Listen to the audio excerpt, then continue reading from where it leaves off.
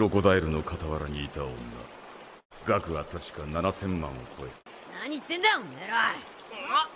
あいつをぶっ飛ばすのにそんな理由いらねえよ。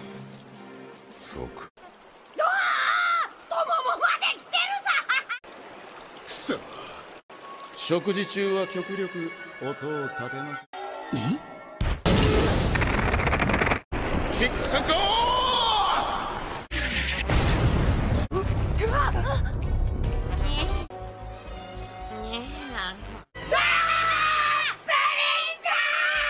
よかった。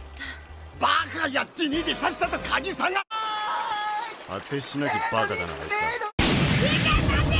全部ぶっ飛ばして！くれつ今3番目に入ってきたやつを仕留めろ。なんだ？お前わかんのか？てめえらの耳は飾りか？